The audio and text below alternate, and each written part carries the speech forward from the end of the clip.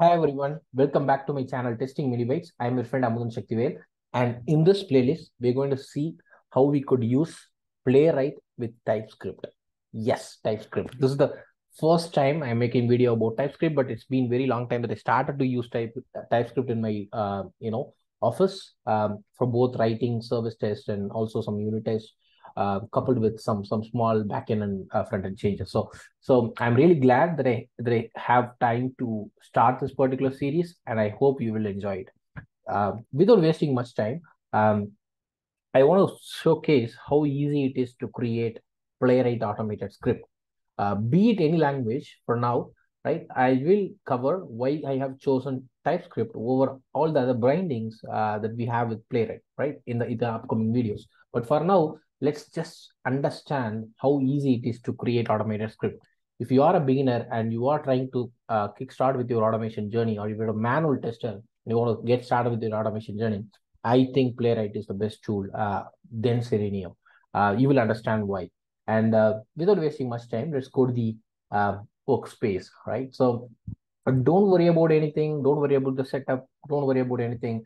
Uh, just enjoy how Playwright can help you to write quality code. So just run this command npx playwright codegen. Um, codegen is stand for you know generating code or whatever.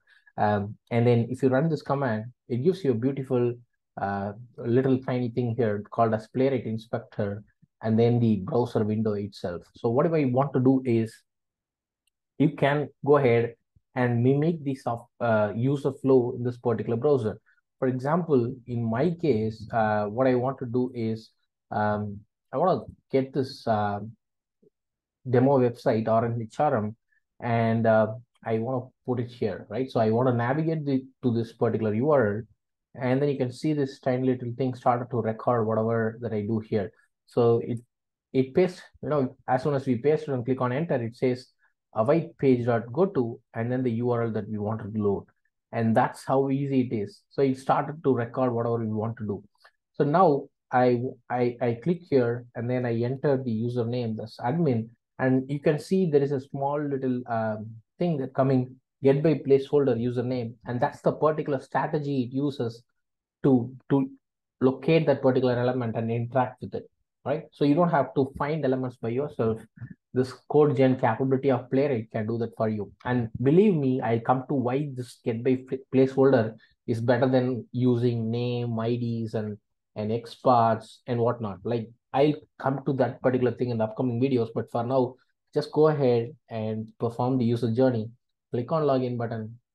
And what I want to do is I basically want to, um, you know, uh, log out. Like maybe if you want to even validate something here, let's say I want to validate um, something. So if you notice there is a small little icon here, I button, and then you can click on it, and then you can say uh, dashboard. So now it got it got it has also added an assert statement here or the expect statement um, heading and it checks for dashboard to be visible. Okay, I'm done with my assertion and I want to log out now. Um, you know what you can do is you can see how it is finding the element. So get by text, first name and last name. Okay. If you know the first name and last name, that's that could be a good locator. But in my case, let's see if I could find any better locator.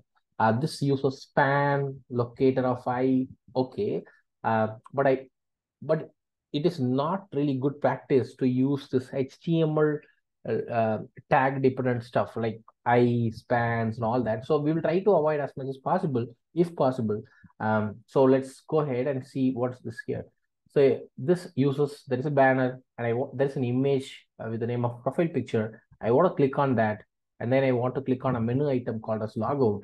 And then that's it. And then I also want to make out whether the logout is successful. So I just check whether this uh, thing is here or, or I could see whether this has um, forgot your password, whatever. Like you could do assert that elements contain text, forgot your password, yes. So you could add all these things, right? So once that is done, uh, you can you can basically stop the recording here, right? Um, that's it, guys. So we are done with the, our test. Our test is ready. And again, if you are using any other language, also you could just. So I'm using Node.js with test runner, which is which is what I recommend all the time. But then if you want to also convert this code to Java, you could also do that. But here let's go ahead and choose test runner and simply copy this code. Again, copy pasting is very simple stuff. And let's go here and then put the code here, right? Everything is done. Now I simply run a, another command. So I will just do this, create a new terminal, um, whatever. And here, so there is a test folder inside that there the my my test that spec.ts. I want to run the test block. Uh, so test block here indicates there's a test case. I want to run all the test case that's here, right? So let's try to run it and see what happens. So the hyphen hyphen headed indicates that I want to show the show the UI here. Since this is all your might be your first test, so seeing a UI might give us a lot of confidence. That's it. The test ran. And I also, if you notice, um, it's so if you want to see the report, okay, you can you can run this command. So so it says to open last HTML report run. You run this. Okay, let's also do that.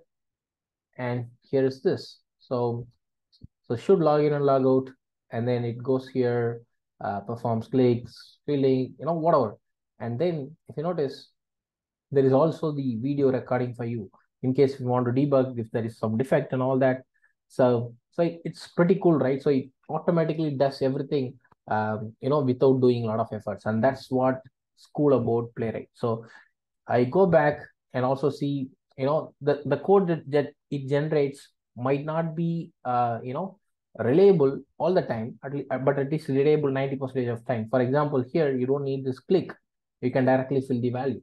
Uh, but then I prefer to click and fill because that's how an, an user might really interact with it, right? Uh, so so you can also keep it. it. It's up to you how you want to do that. Um, and then let's say uh, the user might see a login button, right? A role of button, login, right? So uh, and then click on it. So mostly it, it revolves around how a user would interact with an application. For example, get by placeholder indicates, um, so you have this placeholder here and you're finding the what, what the real user might see. You are not relying upon CSS, XPath, which, which which the end user might not really use to interact with an application. So this is a wonderful way of writing your test. And this is what even I told in Selenium also try to use um, uh, locating strategies that how a real user might interact with it, right? So yeah, that's all about it. I hope you started to like Playwright, but then we will cover it from the basics. What is Node.js? What is Playwright? How to get started? How to write your first test and all that in the upcoming videos. So uh, if you are new here, subscribe to the channel, uh, leave your comments in the description. Um, I'll see you guys in another great video. Until then, tada bye bye from over. Bye guys.